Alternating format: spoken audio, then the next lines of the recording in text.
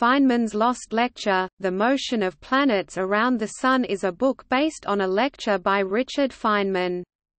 Restoration of the lecture notes and conversion into book form was undertaken by Caltech physicist David L. Goodstein and archivist Judith R. Goodstein.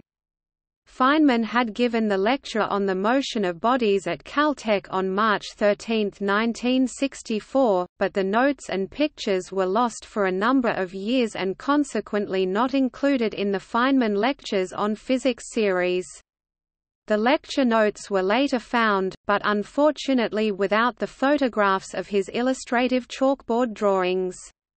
One of the editors, David L. Goodstein, stated that at first without the photographs, it was very hard to figure out what diagrams he was referring to in the audiotapes, but a later finding of his own private lecture notes made it possible to understand completely the logical framework with which Feynman delivered the lecture.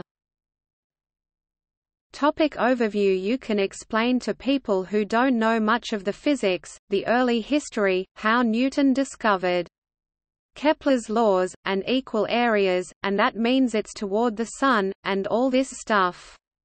And then the key, they always ask then, well, how do you see that it's an ellipse if it's the inverse square? Well, it's goddamned hard, there's no question of that. But I tried to find the simplest one I could.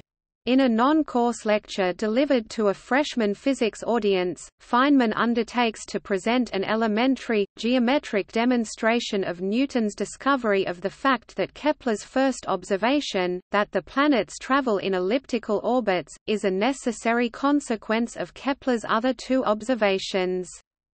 The structure of Feynman's lecture, a historical introduction to the material and overview of some geometric properties of an ellipse Newton's demonstration that equal areas in equal times is equivalent to forces toward the Sun Feynman's demonstration that equal changes in velocity occur in equal angles in the orbit Feynman's demonstration, using techniques of Ugo Fano, that these velocity changes imply that the orbit is elliptical discussion of Rutherford's experiments with scattering of alpha particles, and the discovery of the atomic nucleus. To audio recording of the lectures also includes 20 minutes of informal Q&A at the blackboard with students who had attended the lecture.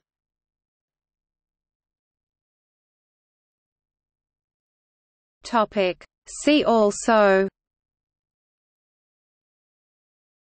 Isaac Newton's work, Philosophiae Naturalis Principia Mathematica